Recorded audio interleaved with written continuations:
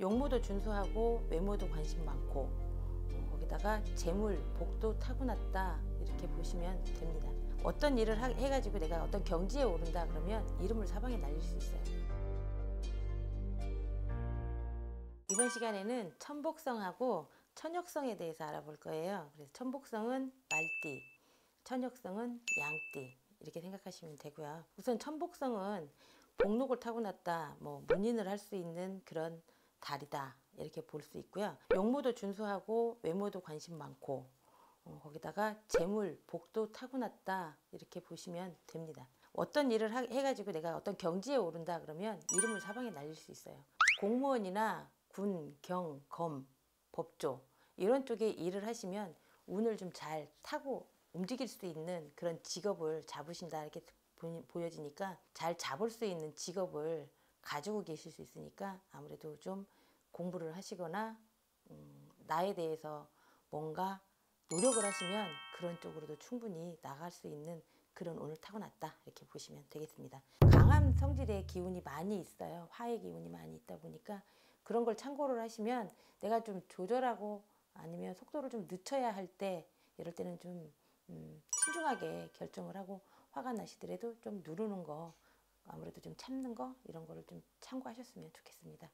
이번에는 천역성 양떼에 대해서 한번 알아볼 건데요. 뭐 역마살, 이동, 영업하시는 거, 활동가 해서 뭐 선교자 이런 것도 많이 있고요.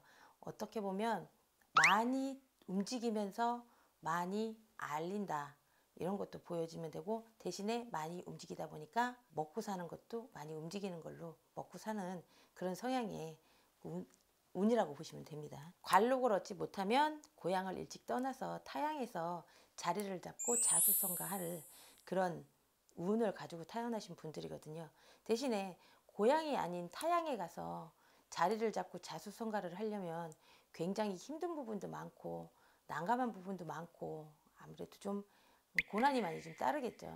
일찍이 노력을 해서 나중에 뭐 중년에 말년에 성공을 해서 편안하게 안락하게 산다 이렇게 생각을 하시면 좋고요. 이분들은 성격이 좀 급해요. 그렇, 그렇기 때문에 뭔가 식사를 해도 빨리 하고 일을 해도 빨리 하고 빨리 마치고 속전속결 이런 거를 좋아하시는 성향들이 많이 있다 보니까 좀 하시다가 음, 내가 내 몸에 무리가 오는 것 자체를 방관하는 경우가 많이 있어서 내 몸이 음, 망가지는지 굉장히 신경을 좀 많이 쓰고 사시면 좋겠다 이렇게 보여지고요. 이분들 같은 경우에도 뭐 보건업, 의료업, 할인업 이런 쪽으로 많이 하, 많이 이제 종사를 하시면 내 운을 잘 풀어갈 수 있는 직업을 받았다.